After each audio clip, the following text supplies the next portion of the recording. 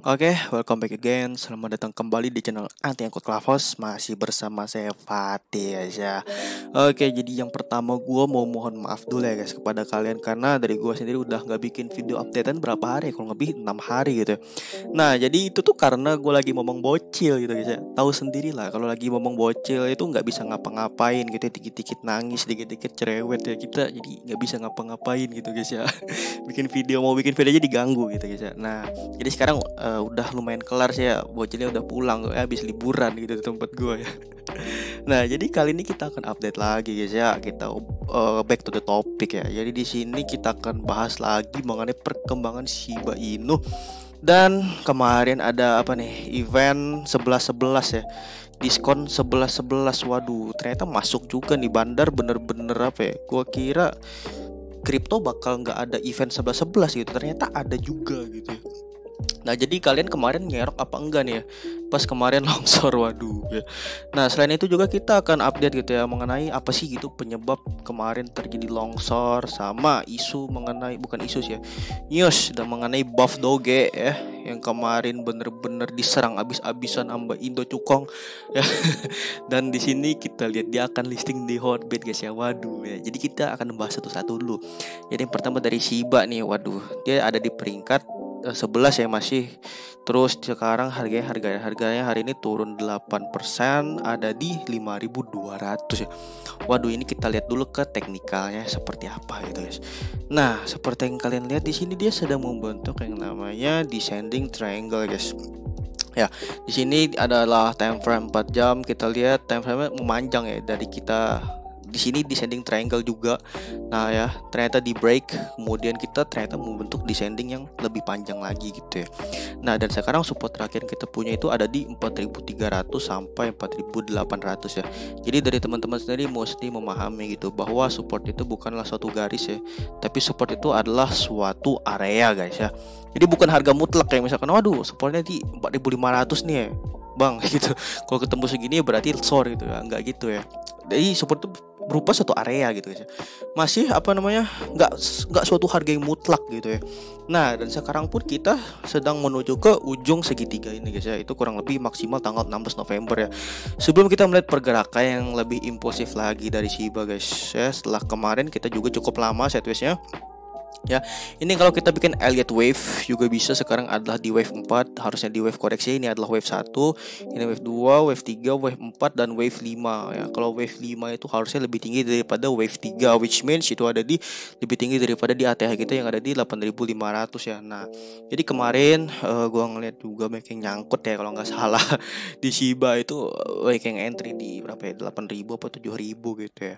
Nah, jadi buat temen-temen yang lagi ngehold yang emang lagi ngehold di harga segitu tetap ya kita konsisten ya di hold aja. Karena tujuan Shiba Army sekali lagi ada di harga 10 rupiah bahkan satu sen gitu.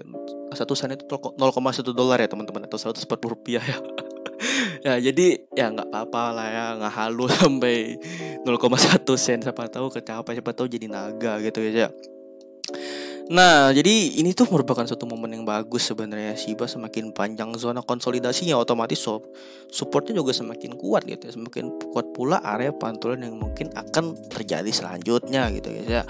Nah, jadi itu untuk Shiba kita lihat untuk teknikal Shiba ya kita lanjut lihat Twitternya Shiba ini ada info apa gitu. Oke, terus di sini di Twitter Shiba kita lihat updatean terakhirnya itu pada tanggal 6 November atau 6 hari yang lalu guys ya. Di sini adalah UFO Gaming Rewards Updates dan kita lihat uh, ada informasi bahwa di sini kalau kalian mau ngebeli apartemen residen atau apa namanya KPR KPR di New York tapi guys ya kalian bisa ngebelinya pakai token Shiba gitu ya melalui Coinbase ya nah ini Ship is now avail available to trade buy and sell on Coinbase for New York residents. Ya, setelah itu apa ya? Nggak ada info lagi kayaknya selanjutnya dari Shiba ini ya. Kecuali isu kemarin yang Robinhood itu aja juga apa namanya? Nggak ada konfirmasi juga dari Robinhoodnya. Cuman isu-isu juga, cuman isu-isu yang lagi digoreng gitu ya sama influencer dan uh, mungkin Wells West yang lain gitu ya untuk Robinhood sendiri. Nah mungkin kita bisa ngelihat Robinhood listing tuh di awal tahun ya kalau salah awal tahun 2022 ya kalau gue rasa ya. Nah selain itu pun sebenarnya kita apa ya kalau berharap listing Robinhood itu sebenarnya nggak terlalu banyak juga sih efeknya ya menurut gua. Karena ya seperti yang teman-teman tahu ya market cap Shiba itu sendiri lebih tinggi dari Robinhood ya. Artinya Robinhood sebenarnya yang butuh Shiba kalau mereka mau keuntungan yang lebih besar ya listing Shiba gitu. Kalau kagak ya udah nggak apa-apa juga gitu ya. Karena holders kita pun juga mau mencapai satu juta ya satu juta holders gitu ya. Sekarang udah 900 ribu apa ya? Ya jadi gak terlalu butuh gitu ya Robinhood guys. Apalagi Elon Musk waduh nggak usah ya. Nggak usah nggak usah berharap dia buat nge-tweet tweet lagi ya. Tapi ya kalau nge-tweet juga nggak apa-apa sih bagus juga sebenarnya ya kalau bisa kan harga naik ya oke okay, and then hmm, kita bahas apa lagi ya? Ini ada buff doge guys ya. Nah ini sangat-sangat menarik dari buff doge. Kemarin teman-teman tahu ya kalau mantau telegram kapten 707 sama sama apa itu? Indo Cukong itu terjadi perang besar gitu guys.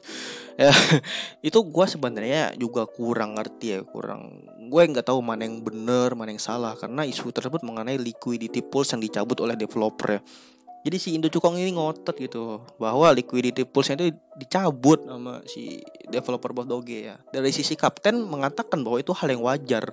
Karena di sini untuk listing di mana tadi? Di Hotbit itu memerlukan biaya miliaran puluhan miliar. Gede banget lah istilahnya biayanya ya. Nggak nggak butuh dana perlu nggak butuh dana yang sedikit gitu perlu dana yang banyak gitu guys.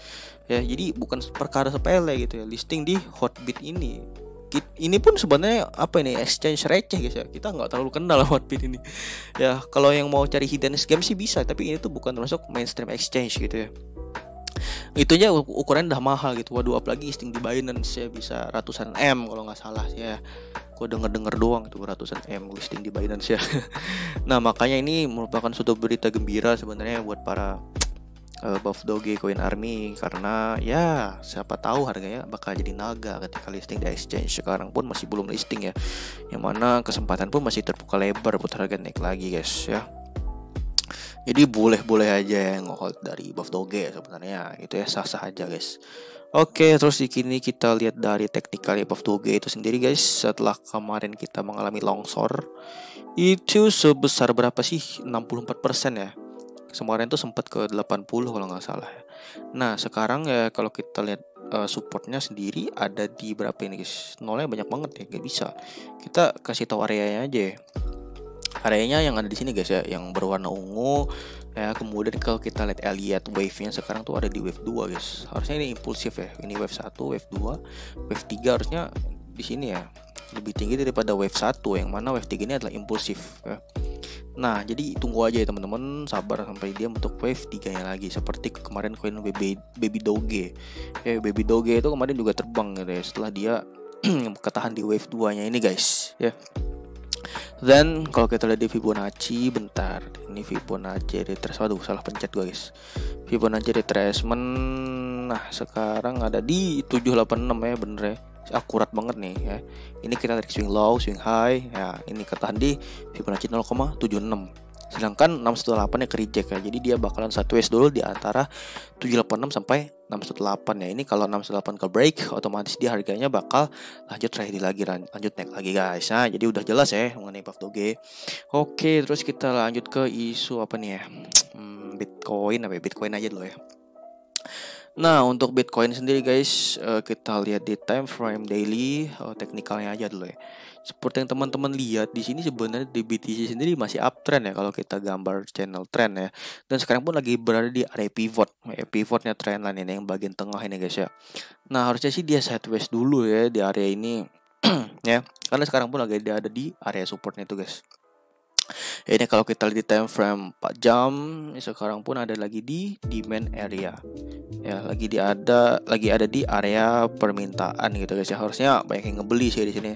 Ya ya semoga aja ketahan gitu guys ya. Area berapa nih? 62.000 sampai 63.000 ya. Waduh ini kalau longsor Waduh, semoga aja jangan gitu ya. Kalaupun longsor gitu, kita masih punya support lain lagi di angka 59.000 ya. Yang mana itu support kuat banget harusnya ya harusnya 59.000 ini kalau yang 63.000 kejebol mesti ketahan lah ya. Agar dia bisa lanjut rally lagi guys ya dari Bitcoin ya. Nah selain itu sekarang sebenarnya sentimen pun sangat-sangat positif dari Bitcoin selain kemarin yang ETF ya ETF bikin ETF udah rilis. Dan apa nih salah satu apa ya CEO nya Apple Tim Cook itu katanya dia punya kripto ya. Waduh ini bisa menjadi good news sebenarnya. Ini tuh berita dua hari yang lalu guys ya. Terus untuk mengenai tapering ya kita udah bahas tuh terakhir tapering efeknya tuh yang pasti ya.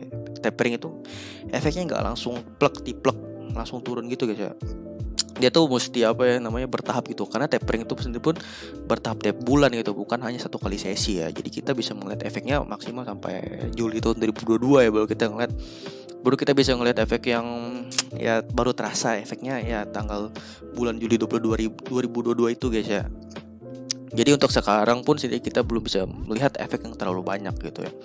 Nah terus di sini isu yang menyebabkan Bitcoin kemarin apa ya? Bitcoin longsor kemarin dari kripto ya kurang lebih karena isu ini guys ya. Ini salah satu hipotesa ya asumsi gue ya. Karena Evergrande kemarin tuh terancam bangkrut ya default udah tiga kali kalau nggak salah ya.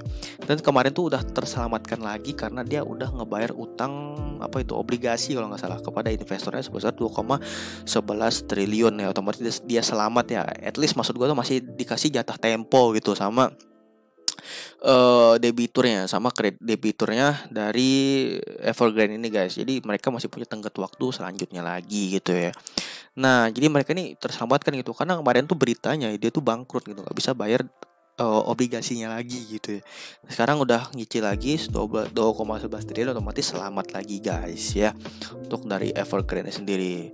Nah, terus kita mantau beberapa koin hari ini yang metaverse kita lihat ada mana sama Sen ya uh, kita bahas mana dulu guys ya. Jadi mana ini sebenarnya dia udah ngebentuk ya, descending triangle dan udah break itu kemarin pas tanggal 11 ya. Nah pas dia dia, dia udah break ini ya tujuan kita sih udah gue infoin ya di chatroomnya VIP itu ya itu di 3,6 ya dan sekarang pun udah tadi di retracement lagi di 3,28 gitu ya jadi yang udah profit boleh sih sebenarnya ngetek sekarang ya dari mana guys ya karena ini ada uh, evening star ya evening star. Waduh ini bisa berpotensi reversal lagi sih. Kalau ke reject ya dari resisten. Sekarang kan lagi ada di area resisten guys ya. Nah ini dekat banget resistennya ya. Nah jadi boleh-boleh aja TP dikit-dikit ya. Terus kemudian dari sandbox sandbox kita lihat di sini sedang mudok yang namanya falling wedge. Support kuatnya ada di 0,382 atau 2,39 ya udah break sebenarnya cuman ini nggak terlalu tinggi kayak mana gitu ya masih sedang-sedang aja gitu untuk pumpnya dia ke reject di Fibonacci uh, eh, 0,236 gitu di area resisten ya guys Oke, okay, nah mungkin segitu aja dulu guys ya analisa kita gitu ya mengenai eh, info-info yang udah gue sebutin tadi guys ya. Untuk selanjutnya kita akan bahas di next video oke okay, guys. Oke, okay, jadi kalau kalian ada requestan bahas apa gitu silahkan tulis, tulis aja di kolom komentar oke. Okay? See you next video guys. Bye bye.